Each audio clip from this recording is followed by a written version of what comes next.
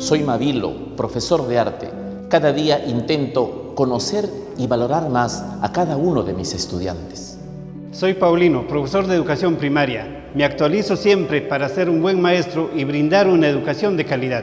Soy Irma, maestra de secundaria.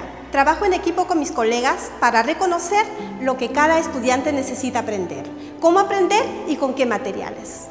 Soy Dina, profesora de educación primaria. En mis clases respeto la cultura, costumbres y formas de pensar de cada uno de mis estudiantes.